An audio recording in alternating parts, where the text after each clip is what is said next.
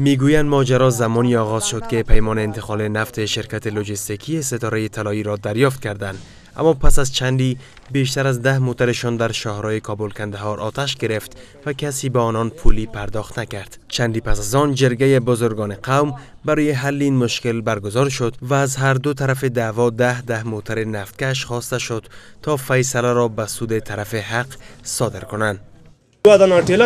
دانې اسپونه درې اسپونه او نه دانې ټیلې دا یې خرڅ کړي دي چې هر کمی کړي دي هغه درک نشته. دو تن دیگر نیز می‌گویند که چند موترشان را که برای جرگه به سرای شیر علی احمدزی برده بودند گم شدند. با الفاظ زشتشان مایان آرزین را تهدید و توهین می نماید و حتی توسط شیرالی احمدزی وکیل پارلمان ما را تهدید به مرگ می نمایند موترای ما را ки бурда дар сояи пули чархи мо санад дорем санадҳои мо дар пеши мо ҳозир аст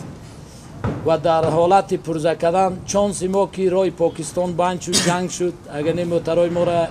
мебурданд тарафи покистон пурза мекарданд. اما این یک سوی قضیه است برای رد این ادعا شیر علی احمدزی و گلپاچا ناصری رئیس شرکت لوجستیکی ستاره طلایی می‌گویند که مدارکی از لوی سرانوالی در دست دارند که این افراد ادعا کننده باید بازداشت شوند به گفته آنان مالکان موترهای نفتکش با هر بار بردن نفت و نظامیان آمریکایی مقداری از آن را کم می‌کردند کوم بل نفر چې ادعا کړې ده په ما باندې چې زما موټر بولی دغه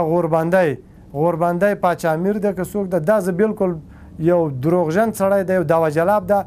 دغه کسان چې نن تاسو راغلي دي چې دی موږ نه قرضدار ده اصلا دوی ما نه څلور لکه درې څلوېښت زره ډالر قرضدار دي. این افراد تاکید می‌ورزند که به زودی باز هم به نهادهای عدلی و قضایی خواهند رفت تا به این مشکل رسیدگی شود